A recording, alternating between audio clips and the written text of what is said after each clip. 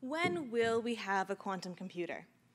It's one of the most common questions I get asked, and my answer is honestly, I don't actually know, but you might want to ask an experimentalist. I think that's actually a really fascinating example of just how fast our technology is moving. You see, I work in a field called quantum cryptography. That's the study of information security for our future quantum computers. Now, when I say information security, I talk mostly about message authentication. That's the idea that we can verify that a message hasn't been changed between being sent and being received. We're authenticating the fact that this was the original message that was intended. What we're saying is that there wasn't an attack in between, or if there was, it wasn't successful. Now, of course, this isn't the only thing you might want to be able to do. You may want to add additional layers of security or compute on the data after you've authenticated it. For this reason, we like to consider security protocols like building blocks. We want to have a large collection of blocks and be able to choose as many of them as we want and put them in any order we want.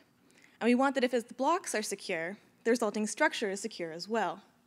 We call this composable security. Now, one of the key requirements for composable security is that we have what we call efficient circuits. Efficient circuits are circuits that can be actually physically implemented. Now, this seems obvious. For a real protocol, you should be able to actually make it. What's not quite so obvious is that this is required for the ideal circuits as well. Now, when we describe a, when we describe a security protocol, we describe it as a comparison between the real circuit, which actually implements the protocol we want, and the ideal circuit, which models perfect functionality.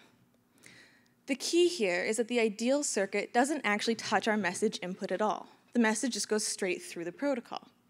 All of the work happens in the simulator at the bottom. Now, the simulator takes the attack and uses its own system, which we call the reference system, to analyze the attack. And essentially, it looks at it and says, based on the attack, will the message have been altered? If it is, it'll reject the protocol, and if not, it'll accept. The complication arises when we mathematically describe these simulators. Typically, when we describe them, we then use a variety of mathematical techniques and tricks to simplify our expressions.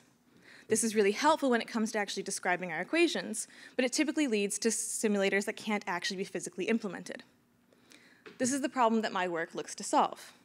For two specific message authentication schemes, I have defined simulators that can actually be constructed, but that also follow through for security proof to show composable security. What I do is I add more blocks to our collection so we can continue to build larger programs on quantum computers. So while I can't tell you when we'll have a quantum computer, I can tell you that when we do, it'll be secure. Thank you.